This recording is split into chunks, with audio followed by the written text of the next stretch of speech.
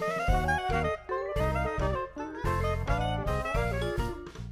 everyone, I'm Denise. And I'm Aiden. And we are extremely excited to announce that the Young Adult Ministry will be having an adoration night on Monday, November 21st from 8 to 9 p.m.